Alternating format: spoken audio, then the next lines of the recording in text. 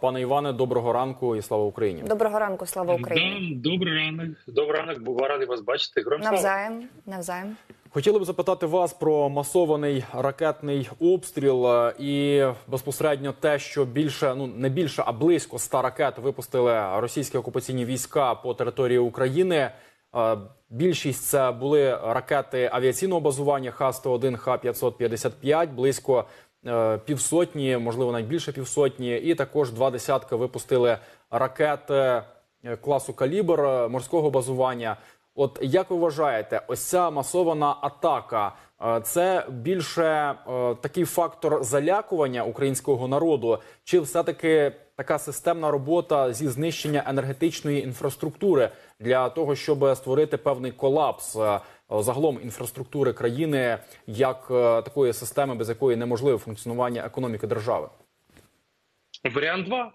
Ви вже озвучили цей варіант. Дійсно, варіант 2 – це системна робота, починаючи зі звільнення Харківської області, коли вони вперше випробували таку тактику бомбардування об'єктів інфраструктури. Їм дуже сподобалося. Вони були в захваті. Глибинний народ там в екстазі оргазмірував. Йому дуже сподобалося. І Кремль там о, клас, супер. Тепер будемо працювати в цьому напрямку. Що ж ми так до цього ніколи не підходили? Щось забули про енергетичну е, сферу України. І ось вони вже скільки. З, з вересня місяця, да, здається, вони бомбардують. От останній такий масований нальот, був такий масовий. Це було 10 жовтня. Да, а потім були трішки поменше нальоти. Потім була якась пауза, е, така тактична, оперативна. Вони, мабуть, підшуковували нові цілі, да робили дорозвідку, робили комплектування своїх ракет, е, планували ці атаки хвилями. Я хочу зазначити, що ця вчорашня атака вона тривала принаймні в Києві. е, Тривога тривала майже 4 години. Без пару хвилин було 4 години. Тобто дійсно серйозно готувалися. Можливо, тепер буде певна пауза, можливо, але не факт. А поки вони зроблять накопичення нових запасів ракет, укомплектують їх, відпрацюють там цілі, зроблять розвідку, що треба ще у нас до, скажімо так, демілітаризувати або деіндустріалізувати, і знову буде така атака. Пане Іване, і щодо вчорашнього прильоту російської ракети на території Польщі, є три сценарії розгортання подій в надалі. Перше це четверта стаття та закриття неба над Україною. Друге це п'ята стаття і пряма конфронтація НАТО та Російської Федерації. І третє це ем, непрямі домовленості щодо інтенсифікації постачання зброї, у тому числі протиповітряної оборони. Які із цих трьох сценаріїв ви бачите? Ну розглядаєте найбільше в найбільшій в найближчій перспективі, що далі буде на вашу думку? Можливо, скажу щось дуже неприємну річ, але вже зранку почали по- з'являтися повідомлення про те, що ця ракета, хоча й російського виробництва, проте запущена е, зі сторони України, тобто Україна намагалася таким чином, начебто, збити російські ракети, і ось невдалий, скажімо рикошет, і вилетіла на територію Польщі. Тобто, це Associated Press заявила, і ми бачимо така стримана реакція президента Сполучених Штатів. Він каже: Ми знаємо, що це російська ракета, але про траєкторію там і польоти ми поки що промовчимо. Там є е, контроверсійні дані, тобто, ну. Цілком ймовірно, тобто ще раз я не стверджую, просто є такі повідомлення. Ми повинні на них зважати. А в Так, будь-якому е, лише випадку, лише додамо, просимо вибачення, що переб'ю. Лише лише просимо повідомити, що в першу чергу це зараз тиражує Associated Press, е, Це видання. е, Я не хочу характеризувати його, але це лише видання з власними джерелами. Тому в будь-якому разі ще раз наголошуємо, чекаємо на публічні заяви офіційних персон. Ні, все, все правильно ви сказали. Да, дійсно, це Associated Press е, дає. Тобто ми даємо е, глядачам різні версії, різне бачення. Я впевнений, що там да, стаття 4 – це консультації. Вони будуть проводити консультації. До статті 5 не дійде, оскільки це не автоматично. Що наприклад, там російський танк заїхав на територію Польщі. Фантазуємо ще раз, фантазуємо, і одразу починається війна блока НАТО. Тобто, це повинна бути узгоджена позиція всіх країн-членів учасників альянсу. Тобто, це консолідована, це велика бюрократична машина. На даному етапі я ще раз скажу, будуть консультації, будуть е, занепокоєння, да, глибокі занепокоєння.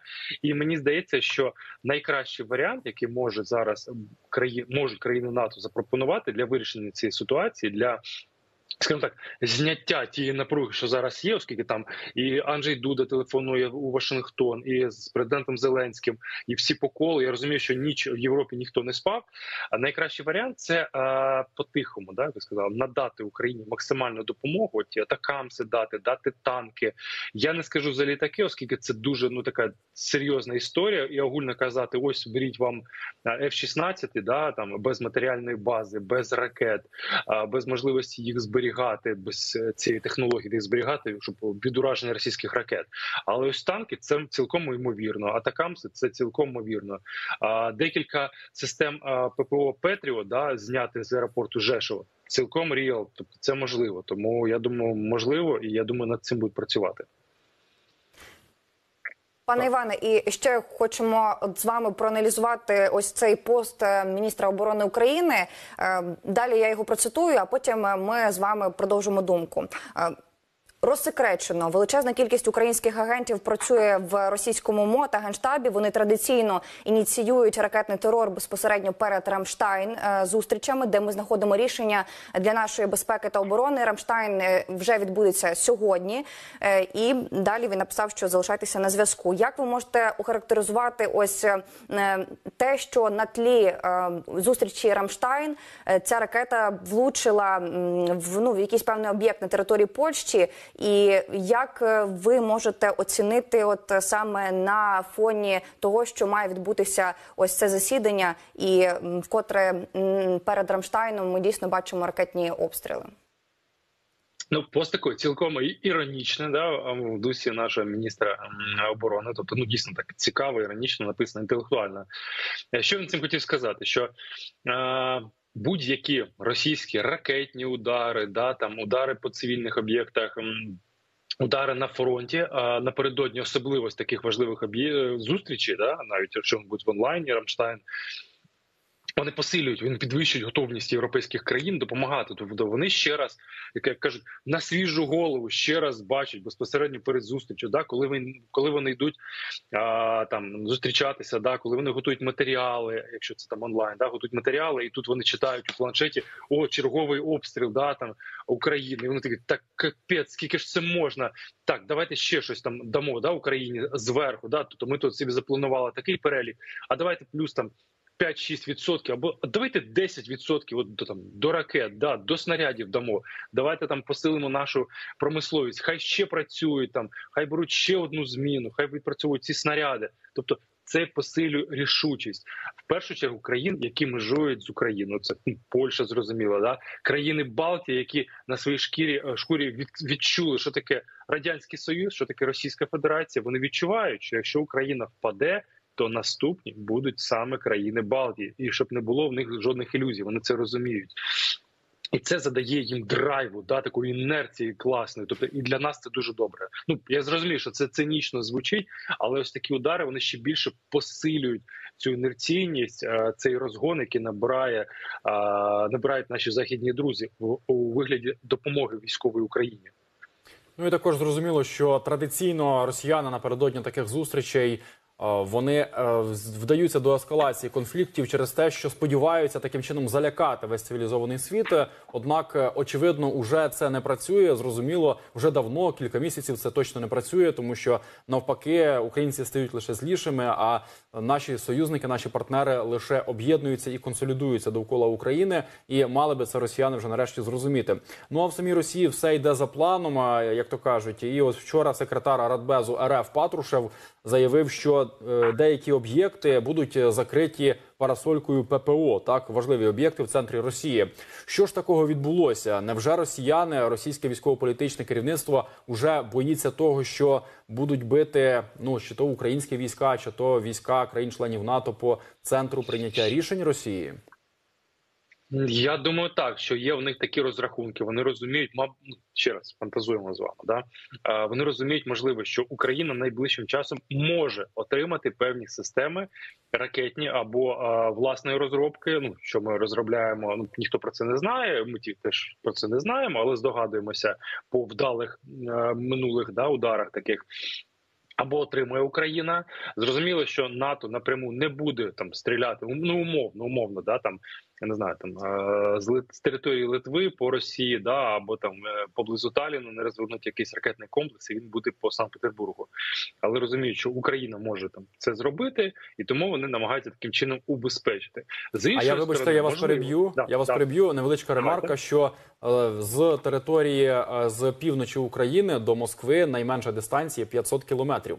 Це така невеличка ремарка. Ми ні на що не натякаємо, просто кажемо таку інформацію.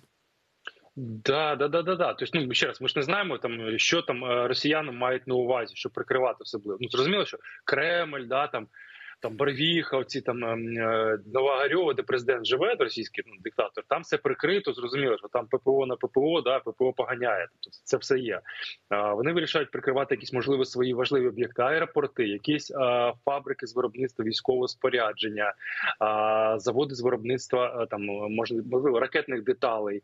Е, І в першу чергу вони очікують нападу з України. А по-друге, можливо, це а, для внутрішнього споживача показати, що ми за вас, ми за вас турбуємося. Ось ми розкрили ППО.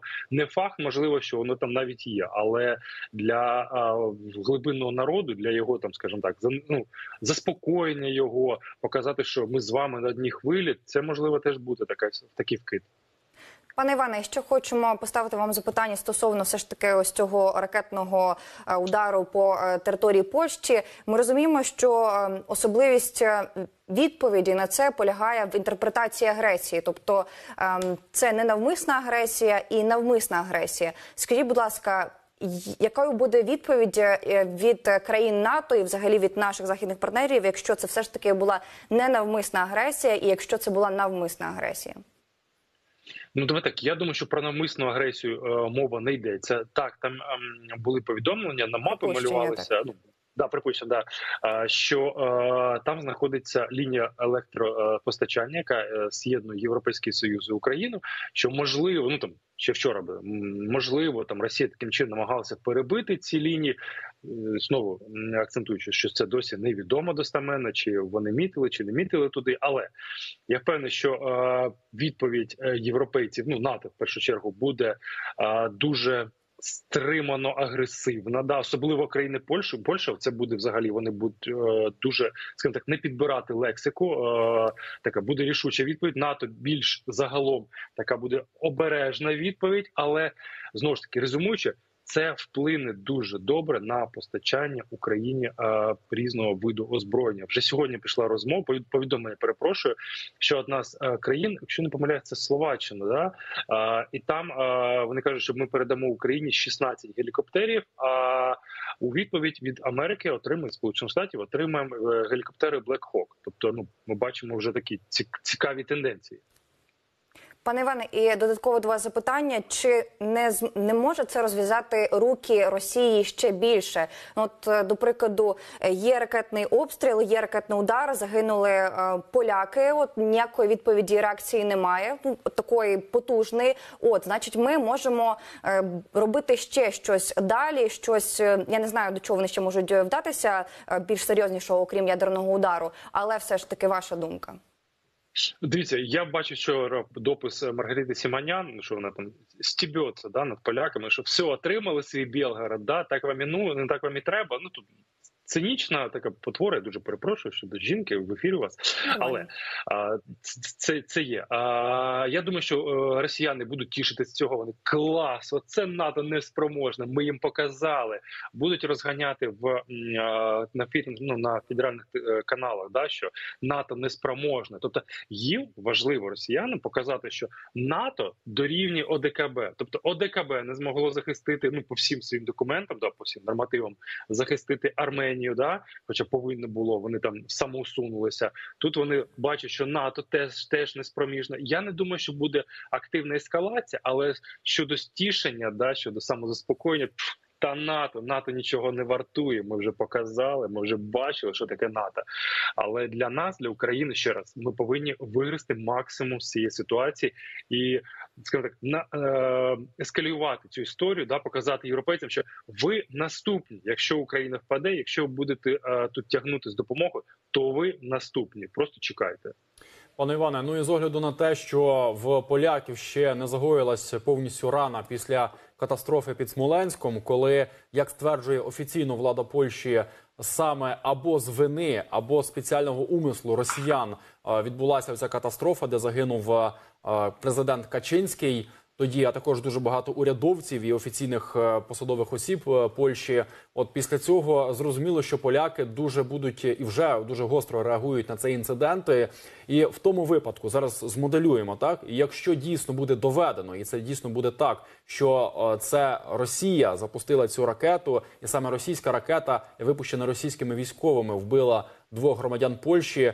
Е, Чи не зможуть поляки, не чекаючи на рішення НАТО, якось самотужки е, почати? Ну скажімо так, ну я не скажу, що мстити, але робити певні гібридні дії військового характеру по відношенню до е, російських військових і можливих загроз з території Білорусі та Росії. Такий варіант я теж не виключаю дійсно, що поляки можуть не сприйняти е, позицію загалом НАТО. Ну ми ж знаємо, що НАТО це консолідована позиція, постраждала територія Польщі. Польща зрозуміло буде вимагати сатисфакції якоїсь. Да, вона там вимагати рішучих дій, але країни там Західної Європи, яких це не стосується, вони будуть дуже дуже обережні. Да, особливо це Франція, там Італія. Ну Німеччина навряд чи Німеччина вже. Потроху змінює свою точку зору щодо української війни, але тим не менше Угорщина, да там як вона себе бачить. Румунія до, до речі дуже е, показала свою активну позицію з поляками. Сказала, ми з вами, ми вас повністю підтримуємо. Я думаю, буде. Підвищення ще раз рівня допомоги, тобто прямо поляки ну не зайдуть там в Україну, да або в Білорусь, там не будуть свої танки, але максимальна розвідка, максимальна допомога військовим спорядженням, а будуть пропонувати свої аеропорти, аеродроми для розміщення української авіації, да для розміщення українських е, виробництв військового спорядження, обладнання військової зброї, щоб воно було під захистом е, систем проти- протиповітряної оборони Петріот. Тобто ще буде на декілька рівнів ця допомога зростати і в озброєнні, і в допомозі, і в матеріальній допомозі, оскільки у нас бюджети окремих міністерств, да вони в місяць е, витрачають грошей стільки, скільки раніше в мирні часи на рік їм вистачало. Тобто війна це дуже коштовно, дуже затратно. Так, пане Іване, було б звісно дуже хорошим варіантом, якби в наступному році ми отримали F-16 і ці F-16 сучасних модифікацій розташовувалися на, так. аеродро... на аеродромах е, Польщі і використовувалися українськими пілотами. Це ідеальний був би варіант. Інше питання, чи на це поляки підуть, і загалом чи піде на це Брюссель. В будь-якому разі, спасибі вам за е, Дякую вашу вам. аналітику, за вашу за ваші відповіді. Завжди раді чути і бачити вас в апостроф ТВ. Іван Ступак. Іван. Ступак, колишній працівник СБУ, експерт Українського інституту майбутнього, був з нами на зв'язку.